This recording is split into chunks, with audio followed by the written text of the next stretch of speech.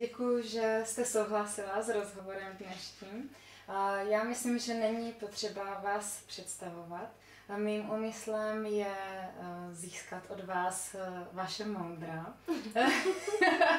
Nebo mým, mým cílem je od vás mhm. získat názor na výchovu dětí z pozice nejen trenérky, sportovkyně, eh, mistrně, tak jako vás všichni známe, ale i třeba z pozice a z pohledu matky. Mm-hmm.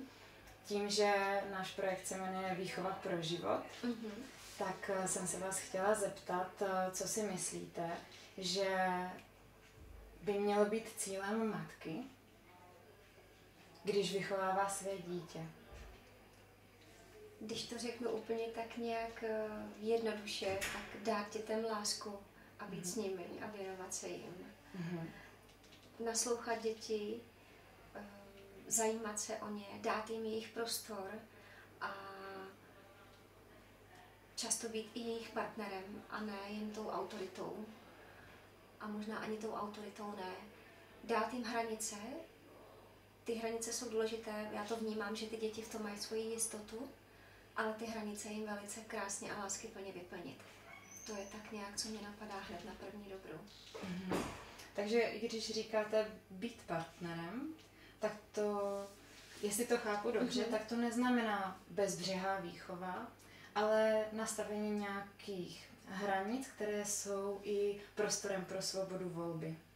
Přesně tak, mm-hmm. přesně tak. Eh, když je, velice, když je velmi, musí v tom být rovnováha, když vnímám, když je přísná výchova, tak se nastavují za každou cenu hranice, ale v těch hranicích a v tom prostoru mezi hranicemi nic není. Mm-hmm. Je to jenom zákaz a nic, příkaz a nic. Ale jestliže nastavíme hranice tím, že budeme diskutovat o nějakém tématu, řekneme tak, jak to z té z hlediska toho dospělého člověka vypadá, jaká je zkušenost, ale tím prostorem provádíme to dítě a věnujeme mm-hmm. se mu, tak si myslím, že vnímám to tak, že to je pro to dítě to nejlepší.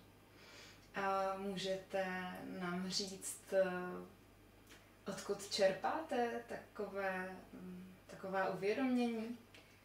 Nabízí to život sám a musím říct, že za poslední léta eh, velmi, velmi čerpám eh, od báječného člověka, eh, psychologa Milana Studničky, který se věnuje dětem, mm, ať už ordinaci, i když on se nevěnuje dětem v ordinaci, on za nimi chodí domů, aby, aby byli ve svém mhm. prostředí. Léta, léta studoval a principy, vývoj, výchovu. Navíc má svého syna ve své péči, kterému se naprosto dokonale věnuje, z něho vyrůstá radostný a správně, nechci říct to slovo sebevědomý, ale takový jistý člověk. Mm-hmm. Takže ten eh, mi hodně, myslím, pomohl osvětlit spoustu věcí. Ale ještě se vrátím i k tomu, že, že asi sama jsem vyrostla Eh, v rodině, kde byl tatínek laskavý, moudrý muž, hlava rodiny a maminka byla ta, která se o nás starala a dělala nám mm. ten servis. Takže myslím si, že ten, ten vzor mám hezký, že vidím, jak fungoval muž a žena mm. a že tím způsobem se snažím i vychovávat děti. Mám syna, kterému bude 30 a chci, aby z něho byl skutečný muž a dcera, který je 15 a chci, aby si užívala ženství a byla ráda ženou. Já jsem se vás chtěla zeptat eh, na to vlastně, jak byste to měli doma. Vy jste už zmínila maminku i tatínka, ale teď jste mě inspirovala k otázce, co si představujete pod pojmem skutečný muž a skutečná žena.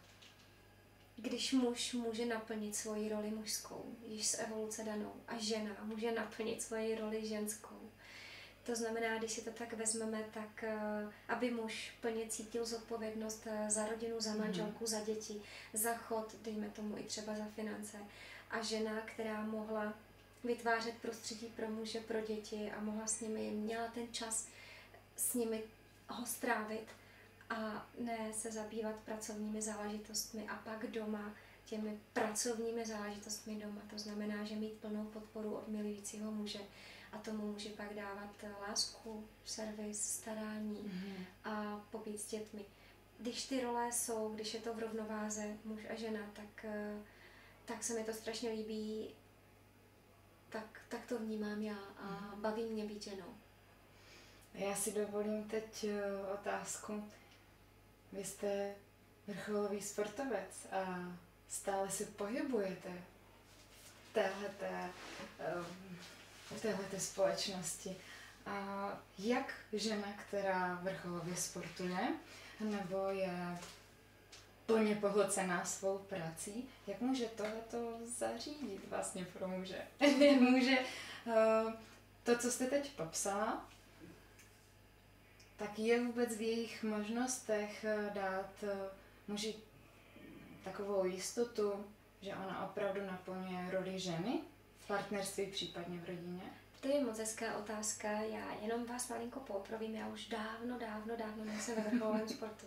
Díky bohu. Bylo to skutečně naposledy před, eh, teď řeknu, průměrně 25 lety. Mm-hmm. Pak jsem vrcholový sport zaujímala jako trenérka, pak jsem ho brzo opustila. Takže já už ani v tom sportu, já jsem v rekreačním sportu, že pracuji pro ženy a připravuji pro ně, pro ně volnočasové aktivity.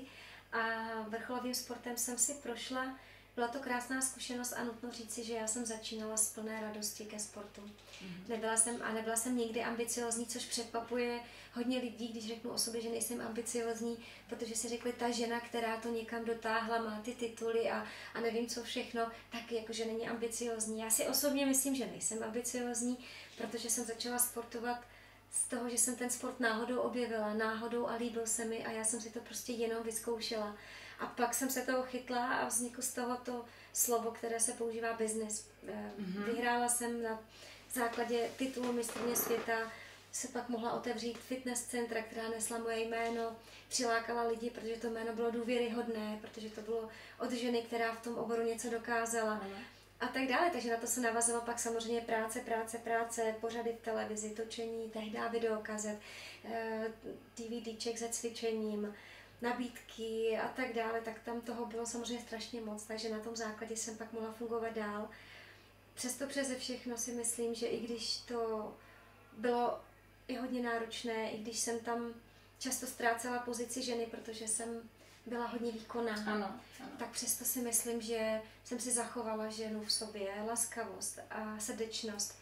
A myslím si, že je čas, kdy to můžu v sobě nechat ještě více probudit jsem tak nějak v tom poločase života a vnímám, že se nechci už dostat nikdy do psychické prázdnoty, mm. do depresí, do velkých únav, tak uh, myslím si, že přichází doba, kdy si to ještě víc budu moci dovolit, protože mám chuť na sobě pracovat. Mm.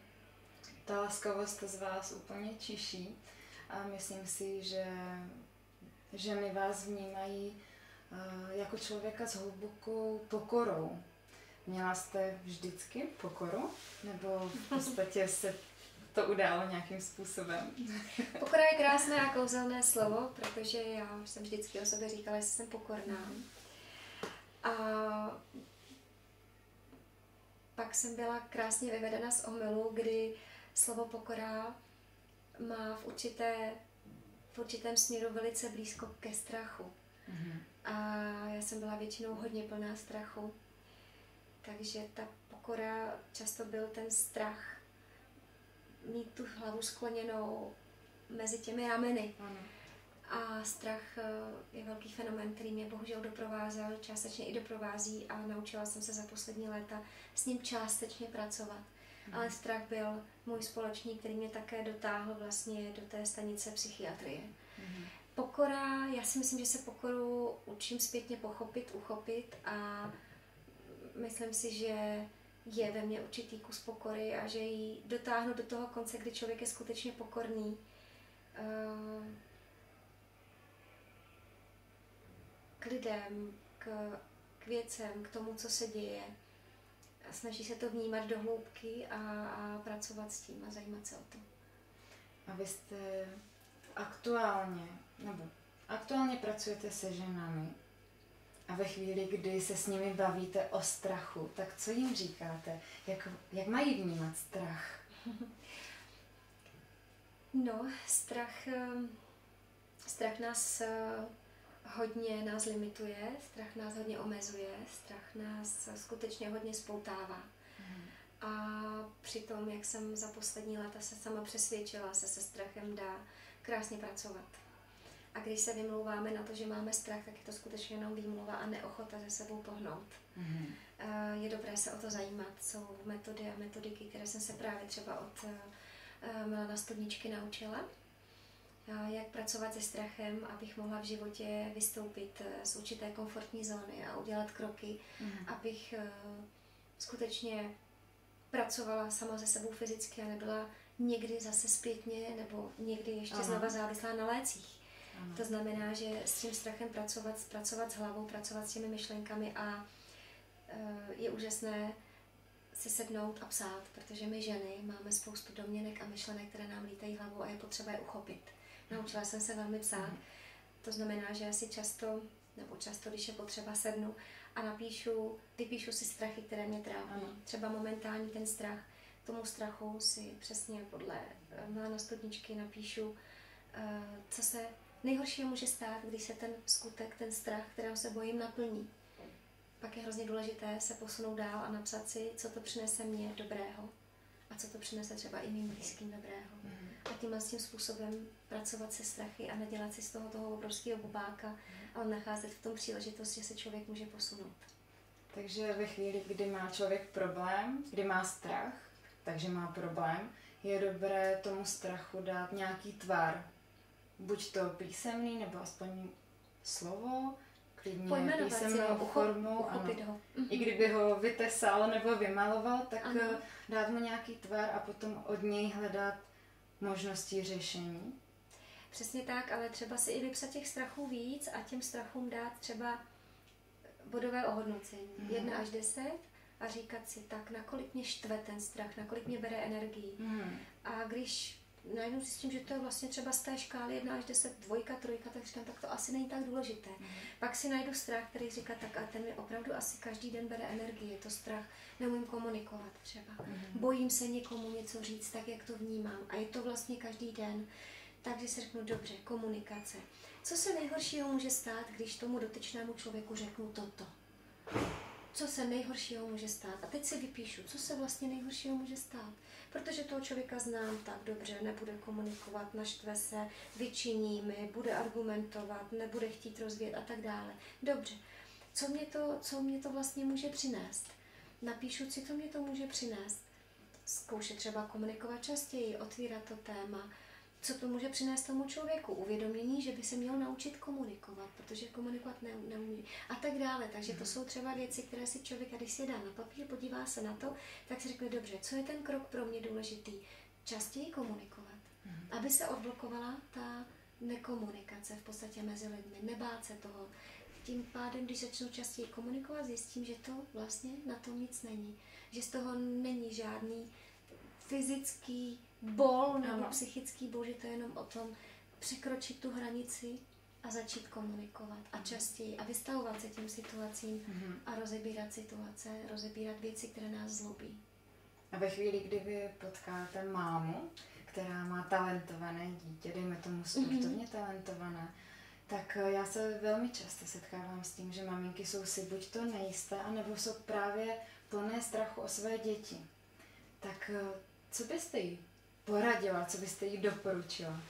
Přece tak nějak mi ta hlava říká, tak i ty dvě děti mám poměrně velké, že to dítě nám samo řekne svojí energií, svojí radostí, jestli to či ono chce dělat, anebo nechce dělat. A jestliže on se v tom cítí dobře, nebojí se jí třeba závodit, zápasit, mm-hmm. jak je to chlapeček nebo holčička, něco vyrábět a tak dále, tak proč bychom si my maminky a priori měli dělat strach, že bude neúspěšné, třeba, že propadne, že bude poslední, eh, když to dítě, když to dělá z plné radosti a my do toho nenutíme, tak i to 15. místo mu neublíží a nevadí mm-hmm. mu.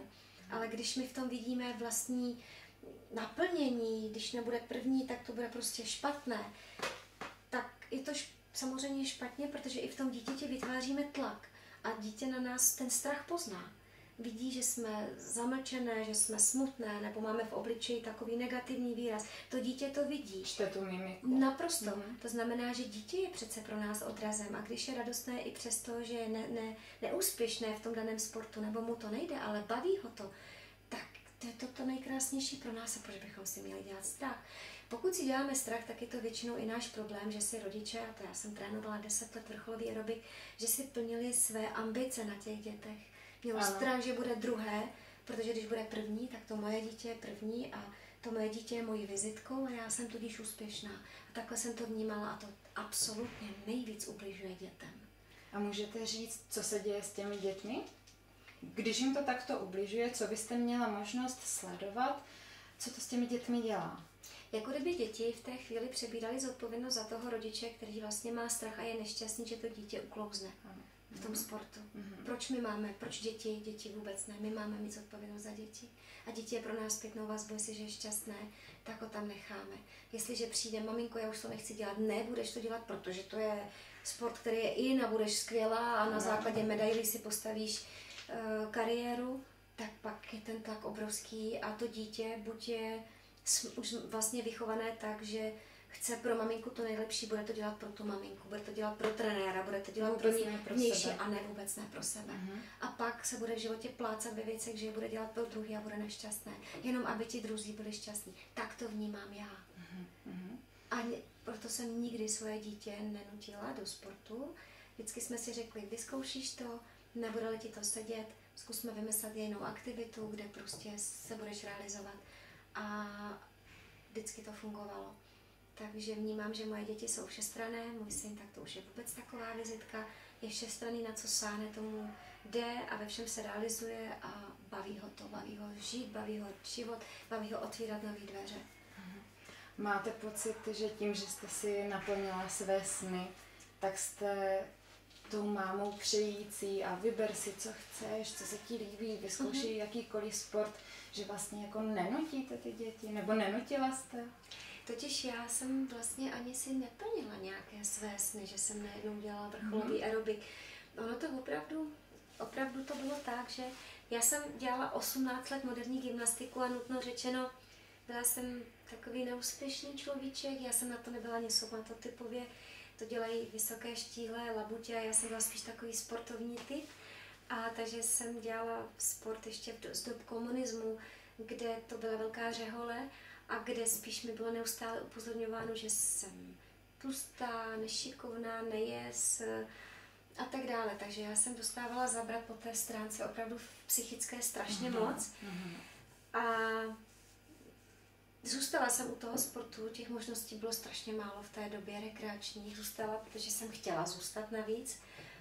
A pak, když přišel v roce 92-3, už vlastně v tomto čase aerobik, tak mi se opravdu líbil a já jsem nešla do toho, tak teď si dokážu, že ty medaile budu mít. Ne, já jsem ani tenhle tlak nikdy na sebe nedělala. Já jsem tím prošla krásně, milovala jsem ten sport až za pět let po titul mistrně světa. Já spíš v životě jsem si na sebe dělala jiný tlak. E, potom dostat toho jména. Já jsem si udělala mm-hmm. na sebe tlak v té společnosti, si Olga Šípková, si mistrně světa a musíš být nejlepší ve všem. Mm-hmm. A v tu chvíli jsem měla na sobě tlak a vlastně jsem... Hlídala jste se ve všem? Hrozně moc. Ta sebekontrola. Vystupovala jsem před lidi, že nesmím selhat, mm-hmm. že musím být skvělá. Nevěřila jsem si ještě v životě, protože jako holčička pubertální, když nebyla jsem dost dobrá ani vizuálně pro všechny, kde jsem měla čerpat dál. Mm-hmm. Bohužel jsem to v životě nedostávala zpětnou vazbu, že, že, že třeba nejsem tak ošklivá, já nerada o sobě mluvím, jaká jsem. Takže ten tlak byl obrovský, takže jsem si nevěřila, že jsem dost dobrá, že jsem dost hezká a mám být vzorem pro ty ženy. A to jsem se válcovala. Pak jsem přišla domů a chtěla jsem být, být dost dobrá hospodyně, kuchařka, všechno mít uklizeno, mít navařeno a tím jsem se strašně zválcovala, takže ten tlak na sebe jsem si dělala takhle. Ve sportu ne, ve sportu jsem šla přirozenou cestou, mm-hmm. ale tlak na dokonalost ženy. A tím jsem se dostala pak ve svých 39 letech úplně dolů. A tělo mi vypovědělo službu a, a ty signály přišly a, a já jsem se jenom nestačila divit. A když když se setkáte se ženami, které vám řeknou, ah, vy o tom nemůžete nic vědět, prostě máte skvostnou kariéru, vy nevíte, o čem je život, co se vám v tu chvíli honí hlavou? Tak to je jenom jejich úsudek.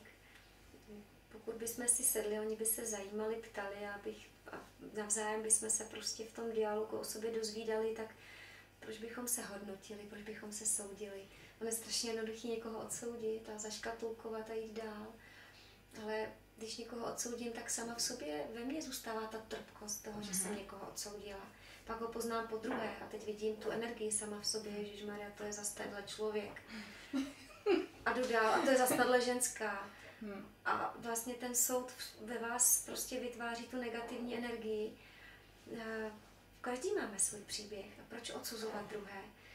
Když půjdou ženy, které mi budou chtít říct, my to máme horší, no tak si sedneme a budeme si povídat o tom, jak žijeme a každý to máme tak, čím jsme prošli a co můžeme ovlivnit.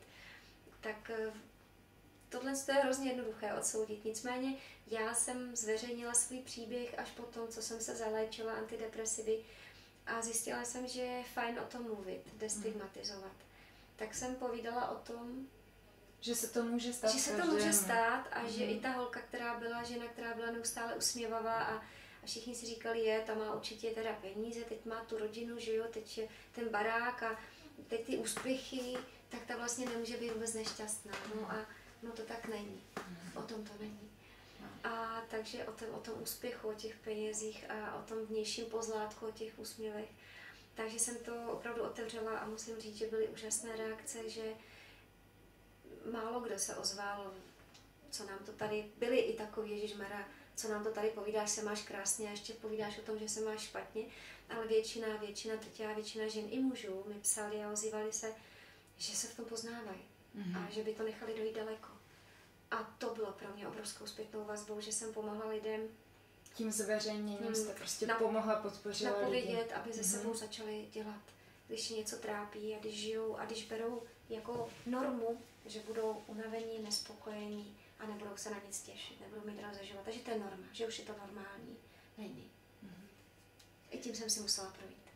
A vy jste teď hodně mluvila o tom, co vám to vzalo, ta situace, a můžu se zeptat, co vám to dalo? Já bych řekla, že vlastně jsem stále mluvím o tom, co mi to dává. Aha. Pardon, já. Ne, ne, nic se neděje vůbec. Možná zle pochopila. Aha, aha. Protože já jsem v tom viděla... Mm, Bolest. Ano. Ano, ano. Ne, já vám úplně rozumím. To je to spíš jenom, že jsem... A takhle o tom povídám, když se na to zpětně podívám, protože to mám... Nemůžu říct, že za sebou. Člověk je na nějaké cestě. Mm-hmm. Ale mám třeba za sebou to poznání, že je člověku zle, že se nevyspí celou noc, že nemůže spát, že je v takové sebekontrole, že si vůbec nevěří a nechce předstupovat před lidi, protože já, já jsem byla tak vyčerpaná, tak jsem si nevěřila, že jsem si říkala, že každý člověk, co mě uvidí, musí vidět zhroucenýho a nechce, nechce ho vidět a tak dále. Prostě mm-hmm. já mhm. jsem vlastně viděla všechno hrozně špatně. Já jsem, a to, to bylo to, co to poznání. Takže to bylo to negativní, ano, to, co mi to vlastně, jak jste říkala, že dalo, vzalo, to bylo to poznání toho těžké situace. Ale teď zpětně vím, že jsem vlastně za to strašně ráda, protože já jsem to začala rozklíčovávat. Ale nejdřív jsem se zalečila léky, protože mm-hmm. jsem mhm. nespala. Mm-hmm. A nedokázala jsem pracovat s hlavou. Já jsem si dokonce měla odpor posteli jako takové, Rozumím. protože mi přináší nepohodu. Mm-hmm. Takže vlastně jsem se zaléčila a pak jsem šla tím životem a v posledních letech víc vnímám život a víc se učím a víc dělám kroky a víc pracuji sama se, se sebou. A teď jsem za to ráda, že mi to potkalo, že jsem, že jsem se dostala poměrně docela dolů.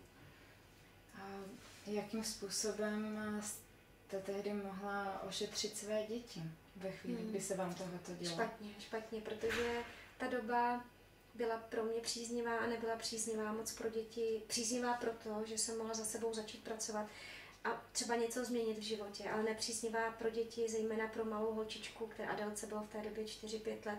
Ona viděla smutnou a vračící mámu. Mm-hmm. A to je asi jedno z nejhorších, eh, co může to dítě zažít, když vidí svého rodiče zhroucenýho v podstatě. A Adelka mě viděla unavenou, zhroucenou, smutnou a plačící. A já jsem v té době vůbec neuměla to pojmenovat. To znamená, že jsem o tom ani s dětmi nehovořila. Kdybych tenkrát to uměla pojmenovat a řekla děti, dětem, mě, děti, mě jsem jenom vyčerpaná, mě jenom není dobře, ale chci na tom pracovat, jenom berte, že teď zrovna jsem velmi vyčerpaná psychicky i fyzicky, není to nic proti vám. Ano. Ty děti si říkali, co, co to může. A ona byla žila v nejistotě. Takže ten smutek, ten, to, takže jsem nebyla vlastně schopná s dětmi být a dávat jim energii. Mm. To beru jako asi to nejhorší, že jsem v té době zároveň nebrala léky, ale zároveň už nepracovala na sobě mm. z té strany psychologie a té duše. To, ta kombinace by byla úžasná. Ale v té době jsem to nevěděla. V té době jsem jenom brala léky. Ano. Abych fungovala fyzicky. Abych Abyste to ustála. Přesně tak, mm. abych to doslova a do písmene ustála na nohou. Mm. Mm. Takže teď vím a pokud bych mohla třeba poradit, radit nechci, tak nejsem ještě někde na konci, ale tak doufám, že dlouho na konci. Hmm, tak z té praktické stránky, když člověku doporučí lékař léky, je dobré zároveň nejenom psychiatr, ale psycholog. Ano. Skutečně odborník, který to rozebere a i ten psycholog může přijít s tím klientem na to, že třeba léky nejsou nutné. Pak můžou přijít na to ano, že se to tak fyzična týká, většinou to vnímám já, že se to týká fyzična, že třeba já jsem trpěla nespavostí, že jsem musela nějak se sklidnit a spát, abych nabrala sílu. Takže ty léky jsem antidepresiva brala večer. Ale kombinovat to skutečně s tím terapeutem nebo s psychologem, který má každý člověk z těchto lidí z tohoto ranku má své cesty, metody, jak by člověk na sobě měl pracovat.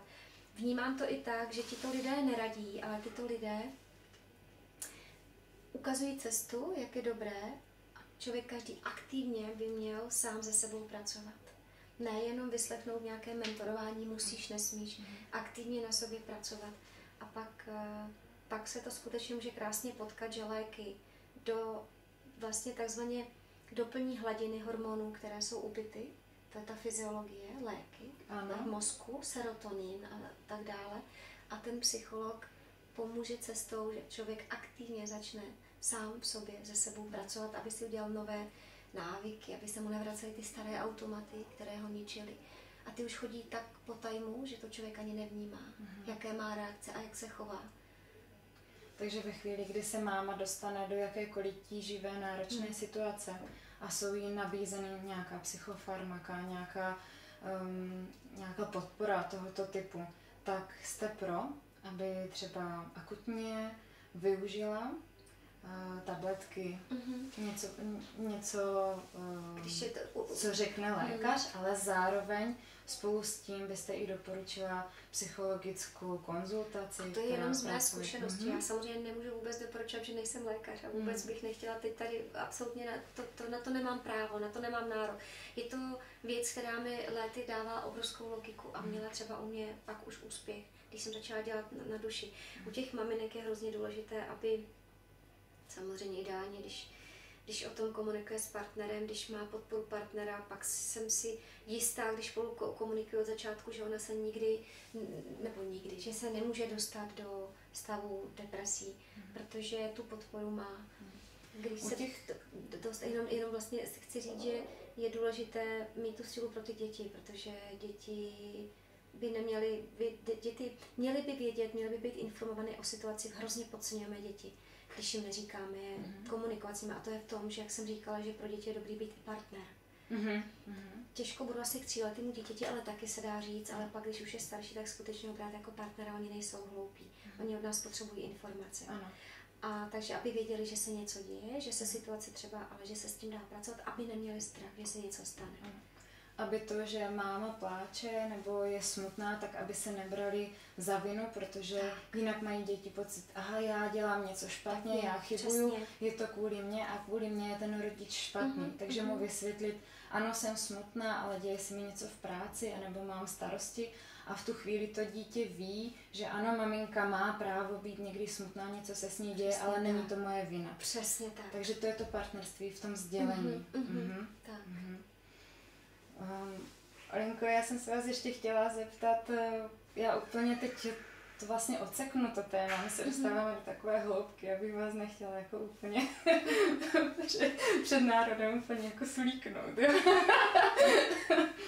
já jsem se vás ještě chtěla zeptat, eh, jaký je váš názor na internátní sportovní školy? Ve chvíli, kdy je třeba mhm. někdo talentovaný na mhm. tenis, tak v podstatě ještě před 12. rokem odcházejí talentované děti do internátních škol, kde vidí potom rodiče co 23 týdny a nemají ten kontakt. A přitom ano, ta osoba člověka je hotová ve 12 letech, ale přece jen ty děti potřebují pořád ještě doprovod těch rodičů právě v tom partnerském vztahu. Přesně tak. Já v tom uh, také poslední dobou, jak to vnímám, tak vím, že děti potřebují nás dospěláky, potřebují naše nás rodiče, protože my se s nima, když to máme dobře v hlavě srovnané, nesrovnáváme. My s nima nesoutěžíme, mm. my jim nekonkurujeme. A školní prostředí a prostředí dětí je často o, tomto hodně v pubertě potom, že děti se srovnávají od toho, co mají na sobě za oblečení. Mm. Tam bych dobré brala, pokud internátní, že mají děti stejnokroje. Aha, takže jste pro uniformy. Jaké mají mobily, jaké mm. sledují youtubery a tak dále. Mm. Do toho je porovnávají uh, autorita učitele. Jednička, Rozumím. dvojka, trojka, čtyřka, pětka. Mm. To znamená, že oni jsou neustále porovnáváni a jsou, vlastně jsou nuceni k soutěžení. Mezi sebou, kdo si vezme hezčí svetr, mm. kdo mezi, se, mezi sebou, kdo má lepší známku a tak mm. dále. A ty děti vlastně žijou v téhle konkurenci, vyrůstají. A v té konkurenci budou pracovat pak dál. Mm. Když to rodič, když to má správně nastavené, tak skutečně s tím dítětem si bude povídat, bude se zajímat o to dítě, bude mu třeba předávat zkušenosti, nebude s ním bojovat, mm. nebude se s ním srovnávat bude pro něho ten partner a ten hotový, dá se říct, když ten člověk skutečně vyzrál ve svém dospělém věku, tak hotový partner a pro to dítě je to daleko cenější, než trávit dopoledne s dětmi, ale i odpoledne s dětmi. Mm-hmm. A nebo dopoledne s dětmi a s autoritami a odpoledne s dětmi a s autoritami. Ještě další kombinace. Ano. Protože ti cizí dospěláci jsou ty autority. Mm. Nikdy se jim to dítě nesvěří. A pokud bude prohrávat, špatně se učit do toho všeho, nebude mít to hezké oblečení a tak dále, bude frustrovaný na těchto z těch věcech, tak je to pak už tenká hranice, že může přejít na věci, které mu budou ublížit. Nějaké patologické. Mhm. Přesně tak. Mm-hmm. Přesně tak.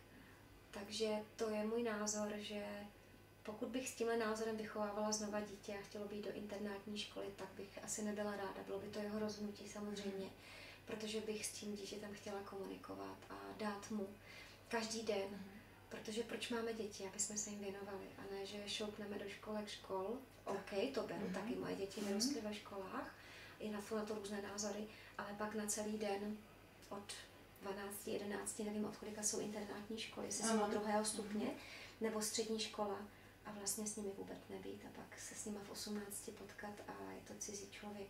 Ty děti k nám nikdy nebudou mít důvěru mm-hmm. aby se nám svěřili, mamko, mě bolí tohle, mamko, potřebuju pomoc tímhle, mamko, poprvé jsem se vyspala s klukem, mm-hmm. chci poradit, mm-hmm. měli od nás tu jistotu, tu radost a a když budou v úzkých, tak aby přišli a svěřili se nám, protože jestliže 15 letá holčina přijde a svěří se, tak je to výhra. Mm-hmm. Jo.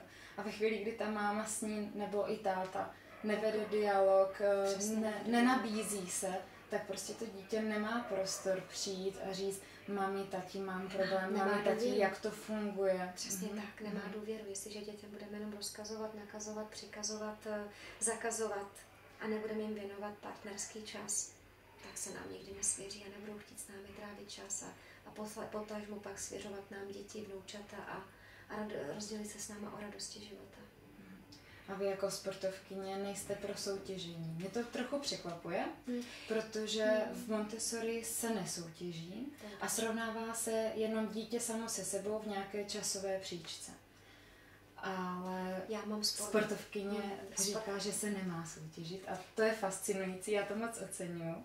No, uh, nemá soutěžit mm, je možná velice hraniční slovo.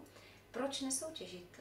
To je já sport miluji a já si taky ráda zasoutěžím, zahraju volejbal mm. a tak dále, ale ten bod nebo ta medaile nesmí být na prvním místě. To je to mm. soutěžení, ten výkon. Jestli do toho půjdu s radostí a bude mi dělat radost ta medaile, ale nebo nepostavím si na tom alfu omegu svého mm. prožívání, ano. tak pojď sbírejme medaile klidně. Mm.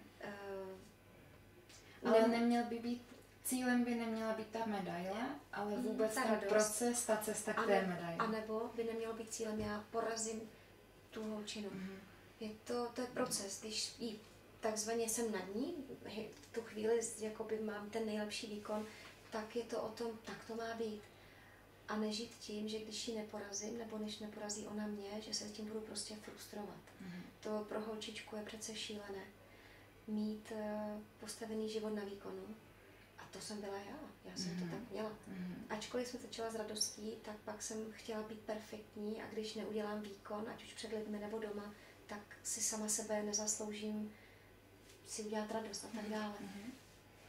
Měla jsem to tak velmi dlouho nastavené, že, že, jsem, že jsem potírala tu ženu, tu, ta žena je vlastně ta radost, ale já jsem, já jsem prostě, když nebylo naklizeno perfektně a ne, ne, ne, ten den jsem nevydělala peníze, tak jsem si sama sebe, tak jsem si nedovolila odpočívat třeba. To bylo moje nastavení. Zakázala jste Přesně tak. Mhm. Tak vlastně v tomhle tom nastavení žena chce zůstat v radosti, nemá šanci. Já jsem tu radost ztratila totálně ze života.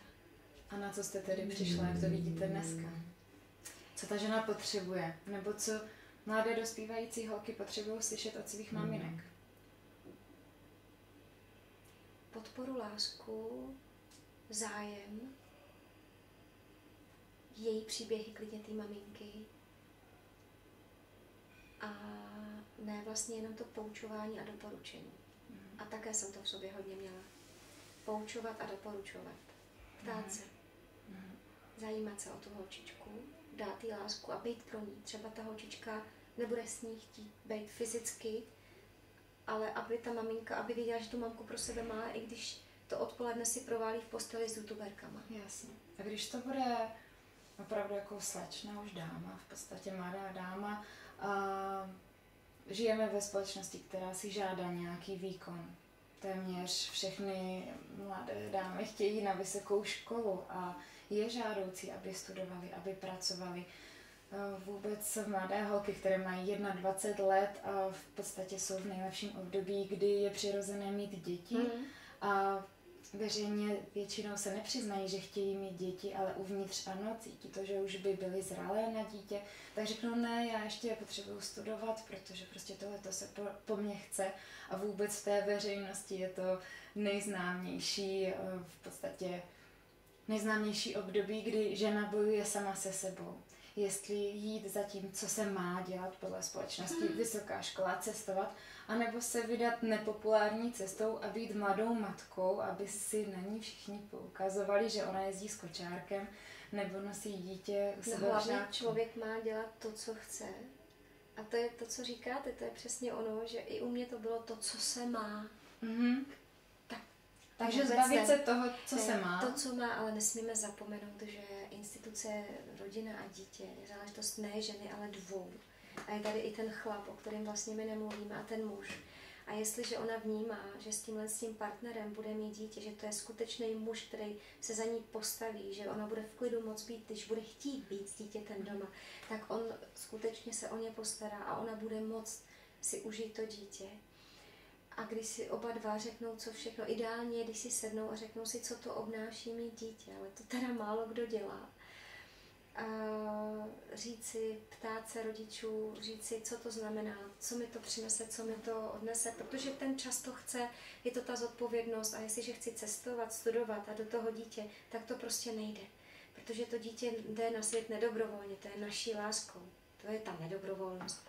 Samozřejmě. A pak je na, o nás, jestli mu ten čas dáme. A jestli jsme si udělali dítě jenom proto, aby jsme ho strčili do institucí nebo babičkám a dělali kariéru, pak, je- to já neuznávám samozřejmě. Mhm. Tak eh, pak je to škoda pro to dítě. Ale třeba ho bude vychovávat člověk, který bude mít pro ně velké kvality, to už pak nevíme.